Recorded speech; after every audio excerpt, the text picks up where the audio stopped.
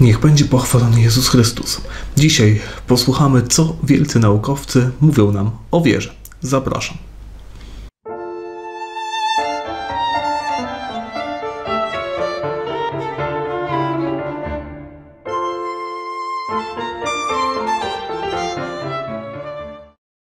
Bardzo często można usłyszeć, że ci, którzy naprawdę są wielkimi naukowcami, którzy naprawdę poznali tajniki nauki, e, przeważnie już nie wierzą. Otóż e, bez wątpienia mm, łatwo jest dzisiaj na uniwersytetach, gdzie wielu wykładowców jest faktycznie ateistami i oni najprawdopodobniej pracują nad tym, żeby e, ich wychowankowie również takimi ateistami zostali. Bez wątpienia e, ta pokusa jest duża. Myślę tutaj na przykład o e, słynnych światowych uniwersytetach, czy to amerykańskich, czy angielskich. Bez wątpienia tamte statystyki faktycznie pokazują, że wiele osób traci wiarę na uniwersytecie. Natomiast nie wynika to moim zdaniem zupełnie z samego faktu nauki, tylko raczej właśnie z pewnej propagandy, która przy okazji gdzieś tam się odbywa. A w jaki sposób można to sprawdzić? Można wskazać na tych naukowców, którzy byli naprawdę wielkimi naukowcami. Tutaj przedstawię dzisiaj e, tylko dwóch i e, mimo wszystko zachowali wiarę albo nawet byli bardzo wierzący. Pierwszy to Isaac Newton. Oczywiście nie był on katolikiem, natomiast w tym materiale chodzi nam konkretnie o połączenie wiary w Boga i silnej, czy naprawdę wyjątkowej nauki. Fragment z rękopisu Jezus Chrystus, oczywiście linki będą w e, opisie. Bóg uczynił świat i rządzi nim w niewidzialny sposób, a nam nakazał kochać i wielbić Jego, a nie żadnego innego Boga. Tu dalej fragment, krótki zarys prawdziwej religii, również jest to rękopis. Przeciwieństwem pobożności jest ateizm w wyznaniu i bałwochwalstwo w praktyce. Ateizm jest tak bezsensowny i odpychający dla ludzkości, że nigdy nie miał wielu wyznawców. Te i temu podobne rozważania zawsze decydowały i będą decydować, że ludzkość wierzy, że istnieje istota, która wszystko stworzyła i wszystko ma pod swoją kontrolą. Dlatego należy mieć dla niej respekt. I on mówi wcześniej o pięknym uporządkowaniu tego świata, czyli nauka, która prowadzi do tego przekonania, że e, ludzkość wierzy. Powinniśmy więc, tutaj dalej Isaac Newton, uznać jedynego Boga, nieskończonego, wiecznego, wszechobecnego, wszechwiedzącego, stwórcę wszystkich rzeczy, najmądrszego, najsprawiedliwszego, najświętszego. Oczywiście link będzie w opisie. Drugi absolutnie wielki naukowiec, którego chciałbym dzisiaj zacytować, to André Marie Ampère. E, już myślę, że samo nazwisko powinno zdradzić, o kogo chodzi.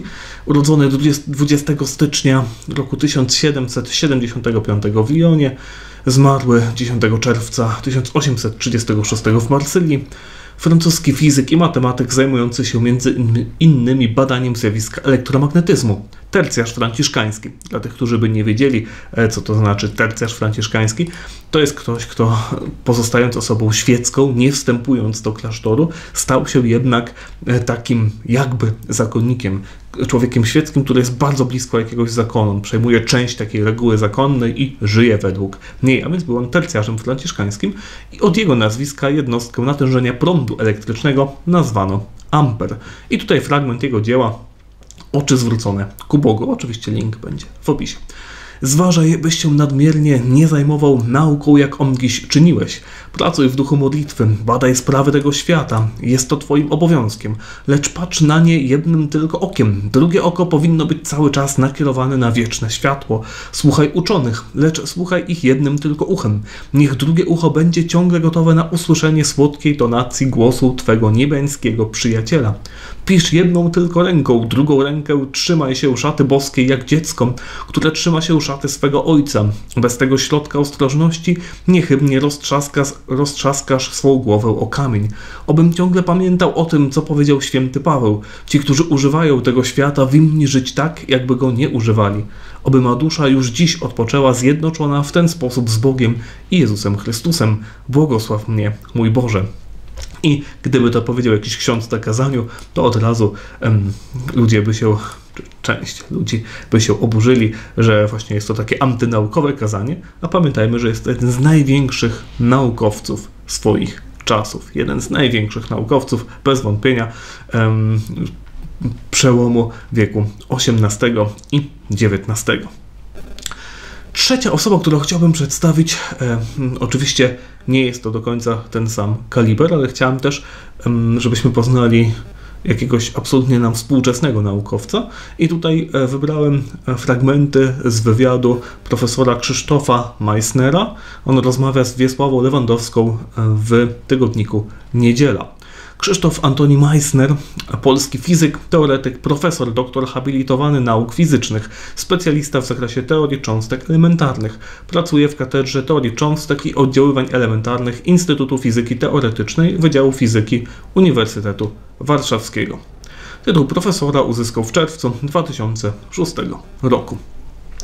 I e, w poprzednim fragmencie mm, pan profesor mówi o mrokach oświeceniach, czyli e, o tym, jak w to w czasie oświecenia ludzie utrzymywali, że nauka w zasadzie już wszystko, fizyka przede wszystkim, wszystko już odkryła, że e, religia w ogóle już nie jest e, potrzebna. Właśnie był to koniec niejako odkrywania fizyki klasycznej, a jeszcze za wcześnie na odkrycie fizyki kwantowej. I tutaj pani Lewandowska zadaje pytanie. Dlaczego te mroki oświecenia, czyli to właśnie negowanie potrzeby religii przez niekoniecznie naukowców, ale ludzi, którzy troszeczkę tej nauki liznęli, ale nie za dużo, wciąż się utrzymują mimo załamania się modelu deterministycznego w nauce dlatego że twierdzenie, iż wiara jest immanentnie sprzeczna z nauką od niemal 300 lat jest nieustannie podtrzymywane przez pewne środowiska, które do dziś usiłują przekonywać, że kwestie wiary i religii są wyłącznie sprawami prywatnymi i lepiej ich z nauką nie konfrontować, bo źle z tej konfrontacji wyjdą. Oświęcenie francuskie przez cały czas mówiło: jeżeli odłożycie na bok racjonalność, to wtedy możecie sobie wierzyć w co chcecie. Jednak dziś mamy mocne przesłanki, by wierzyć nie mimo, że jesteśmy racjonalni, lecz dlatego, że jesteśmy racjonalni. Przez ostatnie dwa stulecia usiłowano stale podkreślać, czasem nie bez winy Kościoła, który pozwolił na takie wzajemne usytuowanie nauki i wiary, że są to jakby dwa państwa, które graniczą ze sobą, więc rozrost jednego powoduje nieuchronne kurczenie się drugiego. Podkreślam tutaj, Mamy mocne przesłanki, by wierzyć nie mimo, że jesteśmy racjonalni, lecz dlatego, że jesteśmy racjonalni. I e, to mówi e, profesor habilitowany z Uniwersytetu Warszawskiego, Katedra Fizyki. A ta, na której obowiązuje, i tutaj przeskakuje znowu e, fragment tego wywiadu, i e, pani Lewandowska zadaje pytanie, a ta, na której obowiązuje światopogląd naukowy, nadal jest większa. Jest ta wyspa, o której była przed chwilą mowa, wyspa, na której obowiązuje światopogląd naukowy, czy ona nadal jest większa? Odpowiedź bardzo jest ciekawa. Nie można mówić o czymś takim jak światopogląd naukowy podkreślam, nie można mówić o czymś takim jak światopogląd naukowy. Czegoś takiego po prostu nie ma, ponieważ istnieją zasadne i dobrze postawione pytania dotyczące świata, na które trzeba odpowiadać, wierząc w coś. Stwierdzenie świat po prostu istnieje nie jest w żadnym sensie głębsze lub bliższe nauce niż stwierdzenie Bóg stworzył świat. Jeżeli światopogląd jest ogółem moich poglądów na świat, czyli ogółem sensownych pytań, które o świecie mogę zadać, to istnieją też pytania, na które nauka nigdy nie odpowie, więc przymiotnik naukowy przy jakimkolwiek światopoglądzie jest po prostu mylący. To jest również bardzo ważna informacja. Taki przymiotnik e, naukowy przy jakimkolwiek światopoglądzie jest mylący, a więc siłą rzeczy jest pewną propagandą, chce stworzyć pewne wrażenie. I to bardzo często widać w e, rozmowie właśnie z osobami, które chcą za bardzo naukowe uchodzić, a tak naprawdę jest to tylko pewna mgła, pewien PR, który ma tak wytworzyć takie wrażenie pewnego szacunku. Jakie to pytania zadaje pani redaktor? Takie pytanie. Faktem fundamentalnym kierującym mnie ku transcendencji jest to, że istnieją prawa fizyki, Wspominałem o tym w poprzednim materiale. E, Bóg czy jest?